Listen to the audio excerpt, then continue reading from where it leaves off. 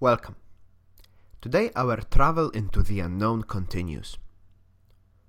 Last time we were holding closely to our ship of geometric distribution. Today, our imagination has to abandon this ship and travel even further to learn the truth.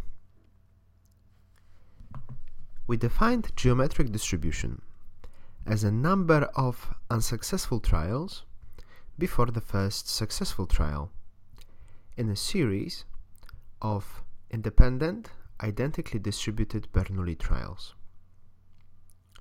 We ask ourselves a, a question What happens if the probability of success, P, becomes smaller and smaller, approaching zero? Will this event of successful trial ever happen? Let's take it one step further and say that probability of success is not only small, but it also decreases as k gets bigger. So we need to remove the assumption of identical distribution you live only once. Let's also remove the assumption of independence. We are left with an infinite series of Bernoulli trials with decreasing probability that is dependent on k. Let us try to generate such series in R.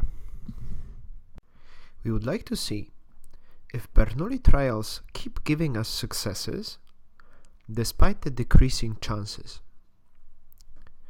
Let's define Bernoulli trial x as a function of probability parameter p. We use this intuitive R syntax specifying the name of the function x equals function we put the parameters of the function in brackets and the body of the function in the curly brackets. In R, like in many other programming languages, we use the return statement. We use it to specify what is going to be the value of the function.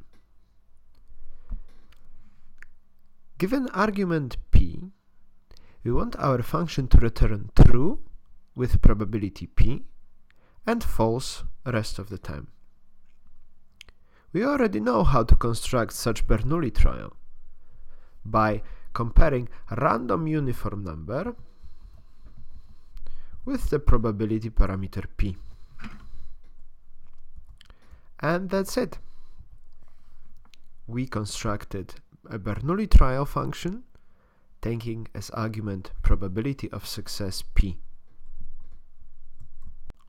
Let's try it out to see if it works.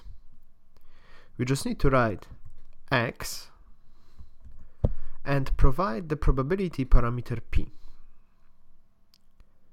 Let's use, for example, 1 half. So the function returns true if the trial was successful or false if it wasn't, just like we wanted.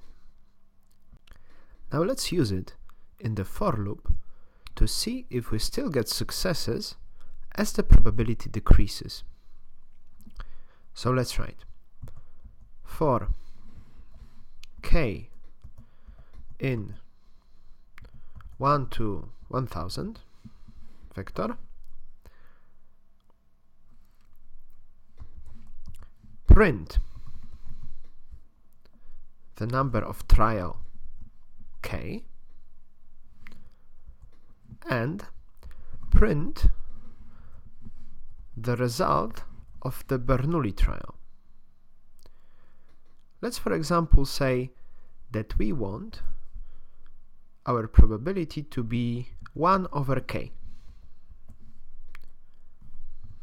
As k increases, the probability of getting a success will be smaller and smaller.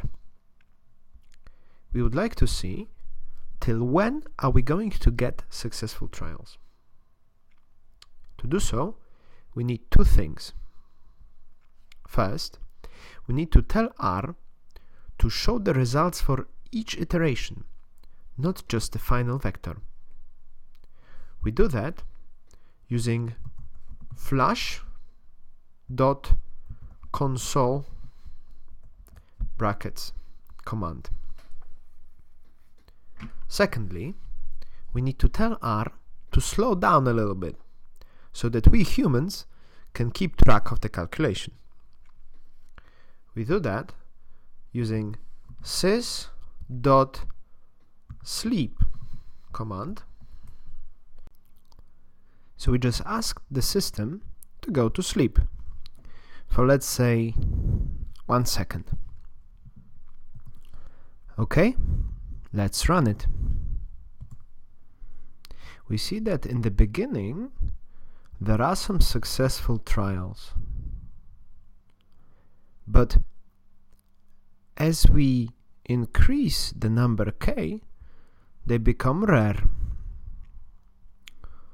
Do they stop happening at all from some point? Or is there no such point, and they happen infinitely many times? Like this one. Let's think how we would formulate it mathematically. Let's first think about numbers. Let's say that we have an infinite sequence that consists of zeros or ones. What does it mean that there are infinitely many ones in this sequence? It means that no matter how far we choose our cutoff point, we will always have ones beyond it. So, for all cutoff points n, there exists a number k bigger or equal than n such that element number k is equal to 1. Okay, so we know what it means for numbers. How does this translate into events and probability? We are interested in the event that infinitely many successful trials happen. We use exactly the same logic. All events happening together is the same as intersection of events. So we replace for all quantifier with intersection. At least one of the events happening is the same as sum of events happening. So we replace exist quantifier with sum of events. So this is how we should understand it infinitely many events happening means that for each cutoff point n, there exists index k higher than n, such that event number k happens. We are interested in what is the probability of infinitely many events happening. We will learn that in the next episode. Thanks for watching. I hope you enjoyed it. As always, feel free to ask questions or share thoughts in the comments section. See you next time.